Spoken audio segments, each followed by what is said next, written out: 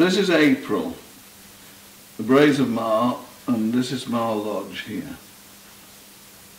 It's a 14 by 10 painting done on the spot, and it was very busy. Lots of people watched me when I was painting. Very pleased with this one. I'll give you two tips with this one, which is that the birch trees are quite simple. I've completely missed out the heather that was in front of them. But the main tip is that these clouds are angled. In reality, they were straight across.